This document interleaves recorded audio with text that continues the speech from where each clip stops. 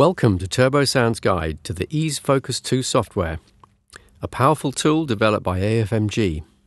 It's designed to create accurate 3D models for acoustic simulation of line array systems and configurable loudspeakers. This will allow you to use your system to its maximum potential. The free software can be downloaded from the TurboSound website along with the relevant data files. To install the software, simply extract the files and run the setup. The install wizard will then open to guide you through the process. Looking at the workspace, we can see three distinct areas. The left panel shows project and object properties. The top panel shows the horizontal coverage of the system, and the bottom panel shows the vertical coverage of the system. Other options on the bottom panel are the levels, frequency response, and distribution. Windows can be freely moved and resized.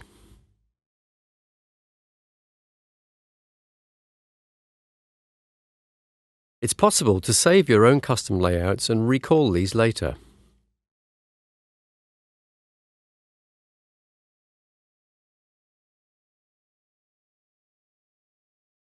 Initially, the product properties should be set, including basic room information such as temperature, air pressure, and humidity. By opening up the Project Settings menu, you can set the ear heights of the audience.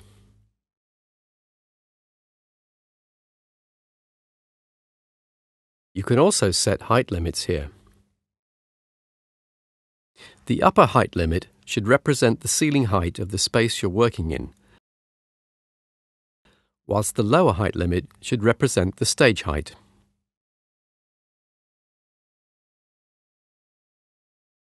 Now we can begin to insert audience zones. This is done in the top view.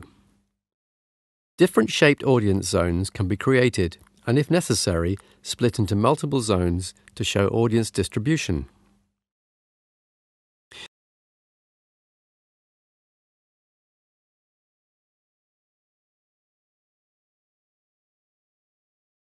We're now going to modify the current zone to represent the stage. Firstly, we can set the dimensions of the stage and then its position from the origin. The arrow in the middle of the shape shows the direction of the viewers relative to the speakers. We will therefore need to flip the arrow to show this. To do this, insert 180 into Orientation or right-click the zone and choose Edit flip horizontally.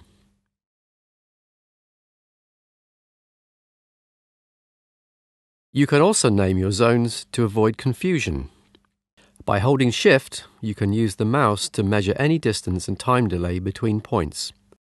Thanks for watching, and don't forget to come back for part 2 of our EASE Focus 2 guide.